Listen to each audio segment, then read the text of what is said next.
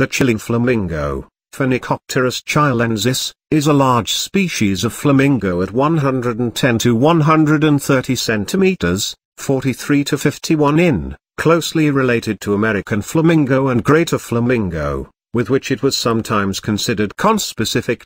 The species is listed as near threatened by the IUCN. It breeds in South America from Ecuador and Peru to Chile and Argentina and east to Brazil. It has been introduced into Germany and the Netherlands, colony on the border, as. There was also a small population in Utah California. Like all flamingos it lays a single chalky white egg on a mud mound. The plumage is pinker than the slightly larger greater flamingo, but less so than Caribbean flamingo. It can be differentiated from these species by its grayish legs with pink joints, tibiotarsal articulation, and also by the larger amount of black on the bill, more than half. Young chicks may have no sign of pink coloring whatsoever, but instead remain gray.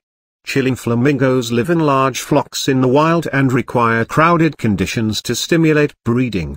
During breeding season, males and females display a variety of behaviors to attract mates, including head flagging, swiveling their heads from side to side in tandem, and wing salutes, where the wings are repeatedly opened and closed.